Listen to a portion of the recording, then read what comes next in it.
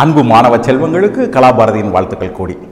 ஒரு fantastic problem but basic problem problem கூட சொல்ல முடியாது ஒரு அனாலிசிஸ் இப்போ நம்ம பார்க்க போகிறோம் அது என்னன்னு பாருங்கள் within the elastic limit the stretching strain produced in wires A, comma B and C due to stress is shown in the figure.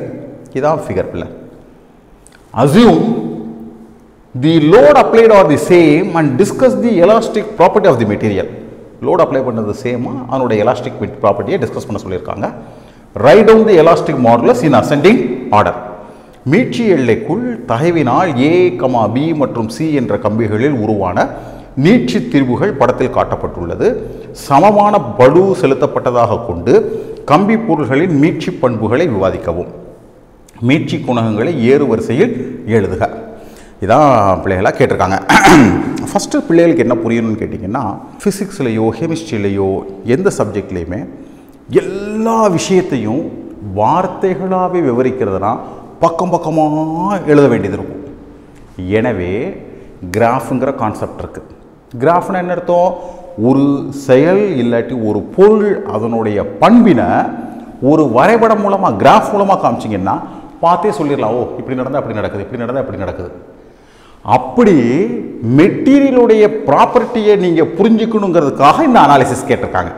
Right இப்போ பாருங்கள் நம்மக்கிட்ட மூணு கம்பிகள் இருக்குது ஒரு கம்பிக்கு பேர் ஏ இன்னொரு கம்பிக்கு பேர் பி இன்னொரு கம்பிக்கு பேர் சி இந்த மூணுலேயும் நம்ம ஒரு லோ டெஸ்ட் கண்டக்ட் பண்ணுறாங்க கண்டக்ட் பண்ணி அவனுடைய எலாஸ்டிக் ப்ராப்பர்ட்டி என்ன இருக்குது அவனுடைய மாடுலஸ் என்ன?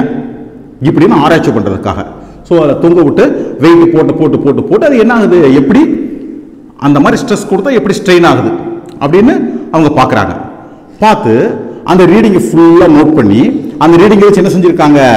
கிராஃப் வந்து வரைஞ்சிருக்காங்க. அப்படி கிராஃப் வரைஞ்சதுக்கப்புறம் என்ன நம்மளை கேட்குறாங்கன்னா இந்த கிராஃப் மூலமாக ஏ பற்றி உன் கருத்து என்ன? பிஏ பற்றி உங்களோட கருத்து என்ன? சிஏ பற்றி உங்களோட கருத்து என்ன? இப்படின்னு கேட்குறாங்க. இப்போ நம்ம கருத்துக்கள் சொல்லுவோம். ஃபஸ்ட்டு என்ன பார்த்தோம் கேட்டிங்கன்னா ஏ பி சி மூணுமே நேர்கோட்டில் இருக்குது அப்போ என்ன அர்த்தம்? மூணுமே விதின் தட் எலாஸ்டிக் லிமிட்டில் இருக்குது எலாஸ்டிக் லிமிட்டை நம்ம என்ன செய்யலை? இன்னும் தாண்டலை. ஸ்ட்ரெஸ்னால் நம்மளுக்கு தெரியும். Force per unit area right இவன் தான் காரணம். This is the stress this is the stress இந்த ஸ்ட்ரெஸ் காரணமாக அது ஸ்ட்ரெயின் ஆகுது. ஸ்ட்ரெயின் என்ன அர்த்தம்? ஒரு மீட்டருக்கு எத்தனை மீட்டர் இழுபட்டுச்சு? ஸ்ட்ரெஸ் என்ன அர்த்தம்? ஒரு மீட்டர் ஸ்கொயர் ஏரியாவில் எவ்வளவு? ஃபோர்ஸ் கொடுத்தோம். அதனால் அது எவ்வளவு இழுபட்டுச்சு ஒரு மீட்டருக்கு எவ்வளவு?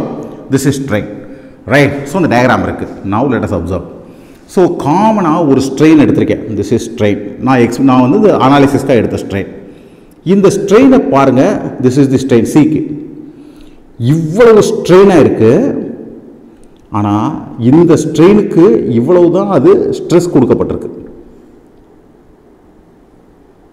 ட்ரை டு அண்டர்ஸ்டாண்ட் இப்போ அடுத்ததுக்கு வாங்க இன்னும் கொஞ்சம் கிளா கிளாரிட்டியாக புரியும். பி மெட்டீரியலில் அதே ஸ்ட்ரெயின் நடந்திருக்கு. ஆனால் இவ்வளவு ஸ்ட்ரெஸ் கொடுத்தா தான் ஏ மெட்டீரியலில் அதே ஸ்ட்ரெயின் நடந்திருக்கு. ஆனால் இவ்வளவு ஸ்ட்ரெஸ் கொடுத்தா தான் அப்போ என்ன தெரியுது? பிள்ளைகளுக்கு கண் அப்போ என்ன பார்க்கணுன்னா A is much stronger B இதோட கம்பேர் பண்ணும்போது லெஸ் ஸ்ட்ராங்கர் சி இந்த ரெண்டையும் கம்பேர் பண்ணும்போது வீக் இதை தான் உங்கள் கண்ணு பார்க்கணும். அப்போ திஸ் இதுக்கு என்ன இருக்குது ஹையஸ்ட் எலாஸ்டிக் ப்ராப்பர்ட்டி இருக்குது நீங்கள் பாருங்கள் நீங்கள் இவ்வளோ ஸ்ட்ரெஸ் கொடுத்துருக்கீங்க. ஆனால் அது என்ன ஆகலை? ஸ்ட்ரெயின் ஆகலை. ரைட் ஆனால் இங்கே இதை பாருங்கள் இந்த கம்மியான ஸ்ட்ரெஸ்ஸுக்கே அதே ஸ்ட்ரெயின் ஆயிடுச்சு. சி பாருங்கள் இவ்வளவு ஸ்ட்ரெஸ் கொடுத்தோம். இவ்வளவு ஸ்ட்ரெயின் ஆயிடுச்சு. So A is more stiffer B is less stiffer C is the very having low tensile strength ஏக்கு ஹையஸ்ட் டென்சைல் ஸ்ட்ரென்த் இருக்குது பிக்கு அதுக்கு அடுத்து டென்சைல் ஸ்ட்ரென்த் இருக்குது சிக்கு அதற்கு அடுத்து டென்சைல் ஸ்ட்ரென்த் இருக்குது this is the way to see அப்போ என்ன தெரியணும்? இந்த ஸ்ட்ரெயின் நடந்துறதுக்கு எவ்வளோ ஸ்ட்ரெஸ் கொடுக்கப்பட்டுச்சு? ஸ்ட்ரெஸ்ஸை அதிகமாக ஹேண்டில் பண்ணி பண்ணுது. லைட்டாக ஸ்ட்ரெயின் ஆகுது. அப்படின்னா என்ன அர்த்தம்? அதனுடைய எலாஸ்டிக் ப்ராப்பர்ட்டி நீங்கள் என்ன செய்ய முடியாது? ஈஸியாக டிஸ்டர்ப் பண்ண முடியாது. மறுபடியும் அதோட பொசிஷனுக்கு வந்துடும் ரைட் ஆனால் சி போனீங்கன்னா கொஞ்சம் தூரம் போன உடனேயே அது எதை இழந்துடும் அதனுடைய எலாஸ்டிக் ப்ராப்பர்ட்டியை இழந்துடும் அடுத்ததால் என்ன செய்ய முடியாது? தன்னுடைய பழைய பொசிஷனுக்கு வேகமாக வர முடியாது. என்பதே இதனுடைய பொருள். அடுத்த என்ன கேட்டிருக்காங்க? Right down the elastic modulus in ascending order அப்போ நம்மளுக்கு என்ன தெரிஞ்சு போச்சு? மாடல்ஸ் என்ன அர்த்தம்? Stress by strain so stress by strain என்ன அர்த்தம்? This is Y this is X meaning tan theta slope அப்போ இதனோட ஸ்லோப் எப்படி இருக்கு? அதிகமாக இருக்கு. பியோட ஸ்லோப் கம்மியாக இருக்கு. சியோட ஸ்லோப் அதை விட கம்மியாக இருக்குது ஸ்லோப் இஸ் தி மாடுலஸ் அப்போ நம்ம என்ன எழுதலாம்? YC Young's modulus of C is lesser than Young's modulus of B is lesser than Young's modulus of A this point is understood so இது வந்து நம்மளுக்கு என்ன விஷயம் நம்ம புரிஞ்சுக்கிட்டோம்?